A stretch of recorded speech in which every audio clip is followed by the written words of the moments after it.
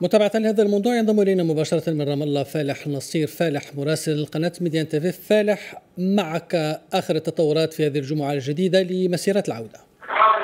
نعم في الجمعة الثالثة لمسيرات العودة قمع الجيش الإسرائيلي التظاهرات السلمية الفلسطينية التي انطلقت اليوم عند نقاط التماس والاحتكاك لا سيما عند الحدود الشرقية لقطاع غزة.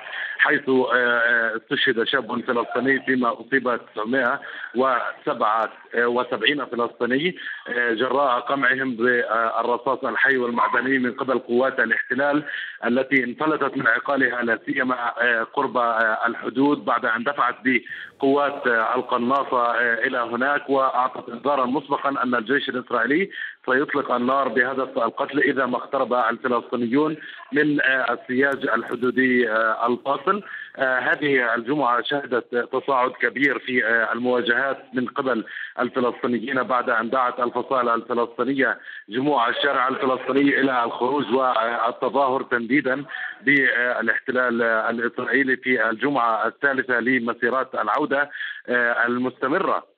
حتى الخامس عشر من مايو آه، المقبل وهو اليوم الذي يتزامن مع ذكرى نكبة الشعب الفلسطيني.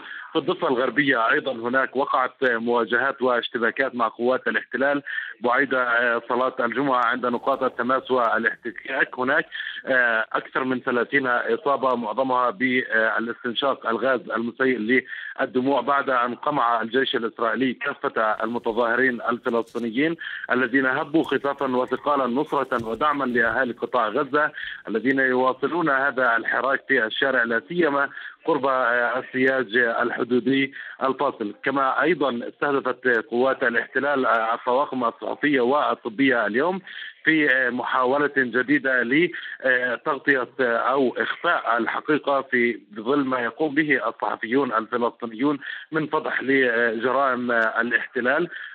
الفصائل الفلسطينية أكدت استمرار هذه التظاهرات حتى الخامس عشر من مايو المقبل ودعت الفلسطينيين إلى تكثيف الحراك في الشارع الفلسطيني والاشتباك مع قوات الاحتلال عند نقاط التماس لا سيما في نعم. الأيام نعم. التي دعت بها إلى الخروج والتظاهر وهو طيب يوم فالح. الاثنين المقبل في الضفة الغربية ويوم الجمعة في قطاع غزة والضفة الغربية طيب أمام كل هذه التطورات الحاصلة الآن كيف برأيك سينعكس ما يجري وتوالي سقوط القتلى والجرحى في ظل السياق السياسي الحالي كيف سينعكس سينعكس على النقاشات آه، الدائرة عشية القمة العربية برأيك؟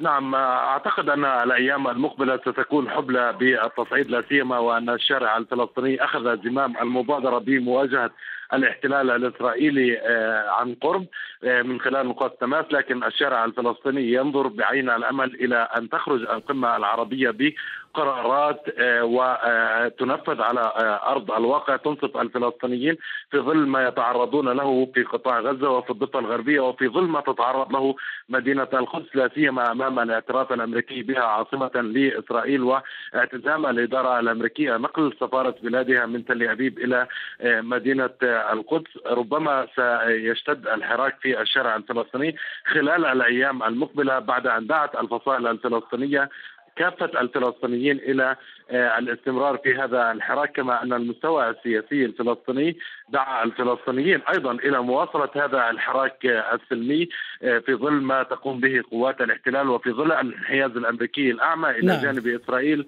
في آه، السر والعلن ما نعم. يجعل الأيام المقبلة بالفعل حبلى بالتصعيد شكرا لك فالح نصير فالح مراسل ميدان تيفي كنت معنا مباشرة من رام الله